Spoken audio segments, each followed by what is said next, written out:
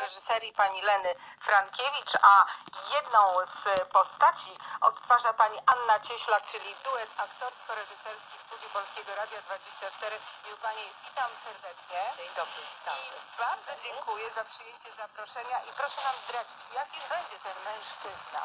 Anno Dominik 2019. Jak Pani reżyser. Ten mężczyzna? Powiedziała Pani, że to jest o mężczyźnie.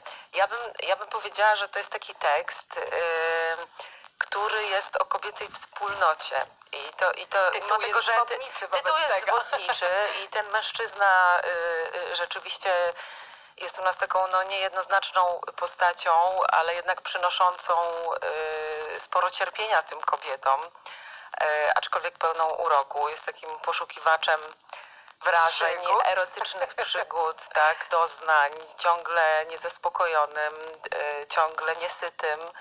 Yy, U nas w, w, w naszym teatrze zagrał go yy, Wojtek Malajkat, także, także jest to postać, która się mieni naprawdę całą gamą różnych barw. Yy, Natomiast yy, to, co mnie zaskoczyło w tym tekście za polskie, jak na niego trafiłam, bo Ania mówiła mi rzeczywiście o tym tekście już dobrych kilka lat temu, ale ja tak sobie myślałam, za Polska, za Polska, co, co, co, co, co tam może być ciekawego. I rzeczywiście yy, wiosną tego roku trafiłam na niego gdzieś buszując po tajnych kompletach takiej mojej ukochanej wrocławskiej księgarni i on był w takim, w takiej antologii wydanej przez Hypatię jako pierwszy. I rzeczywiście zaskoczył mnie, jak bardzo współczesny to jest tekst, jak bardzo feministyczny jest to tekst, i że to, to jest taki właściwie tekst, który jest taką proklamacją kobiecej wspólnoty, kobiecej więzi, że ta, ta, ta więź między siostrami, między kobietami okazuje się jakąś taką największą siłą i odkryciem Taką tego wartością tekstu. od wtedy do teraz, prawda? Tak, tak, tak. I pomyślałam sobie, że to ma szansę niezwykle współcześnie zabrzmieć, mimo tego, że premiera miała miejsce w 1903 roku. Tego tekstu wywołała podobno wielkie poruszenie i kontrowersje. E, e, Teraz już pewnie takich kontrowersji nie wywoła, natomiast e, jest to bardzo dobrze napisany dramat. Trochę trzeba było go poskracać. E, I no, ciekawa jestem, jak w odbiorze rzeczywiście ten, gdzie ten ciężar się przesunie, czy jakby z, z, tego, z tego, czy na te kobiety, e, czy, czy gdzie, gdzie będzie ta dominanta.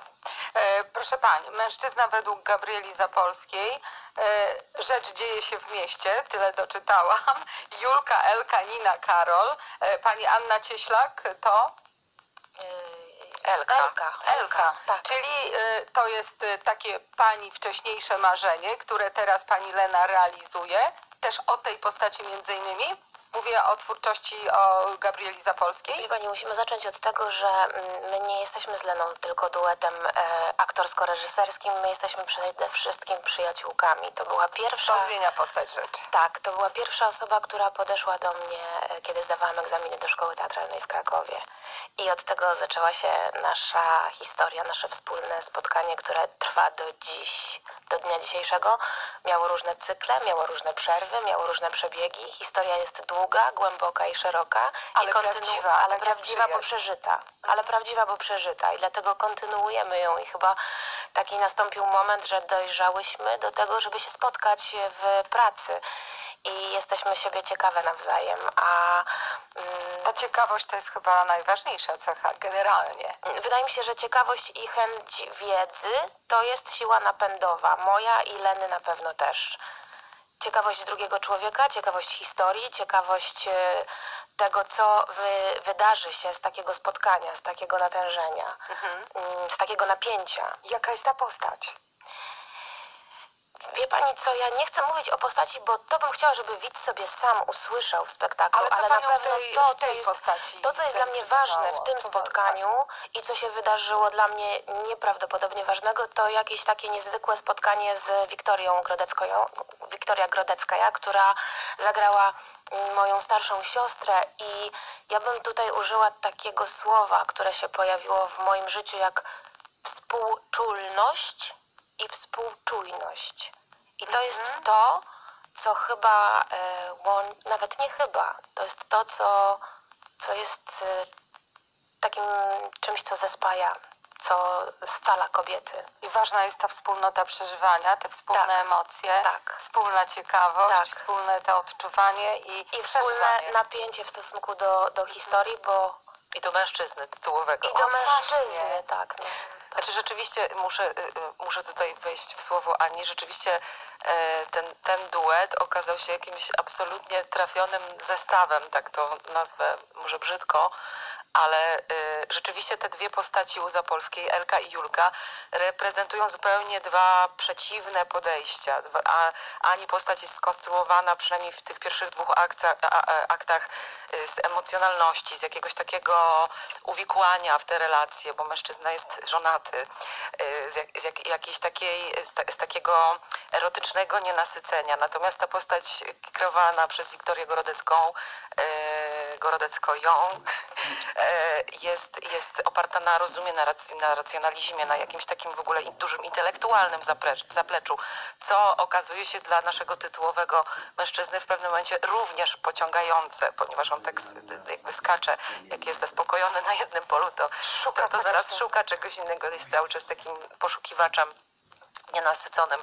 I tutaj rzeczywiście muszę powiedzieć, że dziewczyny bardzo szybko, bo mieliśmy taką jedną dłuższą próbę i potem już nagranie, zna, znalazły taki rodzaj właśnie współbycia, współdziałania, takiego duetu, takiej hydry dwugłowej, która jakoś tak po prostu zawłaszczyła cały ten tekst. I to było bardzo Aha. ciekawe, że, że, że rzeczywiście nawet ten ostatni tekst Anny Świerszczyńskiej, który ja włożyłam em, do, do, do finału e, Zapolskiej, ponieważ też potrzebowałam takiego odbicia w coś, e, w, jakiś taki rodzaj właśnie poezji, jakiś taki rodzaj czegoś takiego nie do końca to powiedzianego, jak to jest przez Zapolską, tak już naprawdę do ostatniej kropki wyciśnięty tam ten finał, e, do jakiegoś takiego otwarcia, oddechu.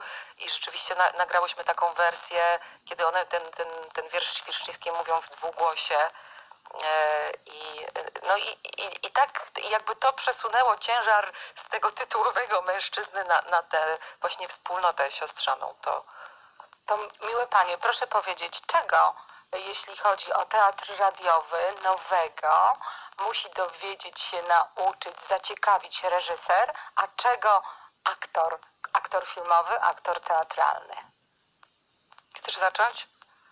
Ja myślę, że dla aktora najcenniejsze jest y, spotkanie y, z tekstem, który ma siłę przekazu. Jako aktorka Teatru Polskiego y, w Warszawie mm, mogę z pełną świadomością powiedzieć, że dojrzewam grając Szekspira, grając Mo- Moliera, grając Ibsena, grając Gombrowicza i grając za Polską. To są spotkania, które otwierają świadomość i dają takie pole, taką przestrzeń do tego, żebyśmy szukali, żebyśmy chcieli wiedzieć więcej. Mhm. Zaciekawienie też. Tak. Pani reżyser? E, Dla mnie, bo to była w ogóle moja pierwsza realizacja w Teatrze Polskiego Radia, więc to w ogóle była taka nowa przestrzeń. E, p- Pracowałam ze znakomitym realizatorem, to muszę powiedzieć, Andrzej Brzoska, który realizował to t- słuchowisko. Świetny gość, Najlepszy na naprawdę e, o niesamowitej cierpliwości i, i, i jakimś takim w ogóle wprowadził mnie w to jakoś bardzo, to było wspaniałe doświadczenie.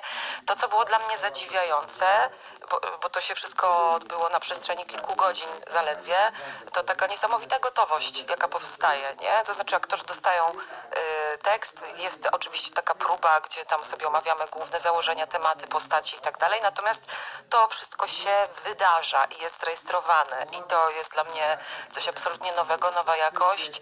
Y, y, Jest to już dosyć szybka, krótka praca, i potem y, ten cały etap postprodukcji, czyli też kładzenia muzyki, która tutaj w tym naszym spektaklu od, od, odgrywa niebagatelną rolę, bo mm, muzykę napisał, skomponował i nagrał. Marek Napiórkowski. Y, Także, Też długo zamachiwaliśmy z muzyka Markiem to na tę najlepsza współpracę jest i rozmawialiśmy Boża, o tym motywie właśnie tego Haszwera. są najlepsze i już.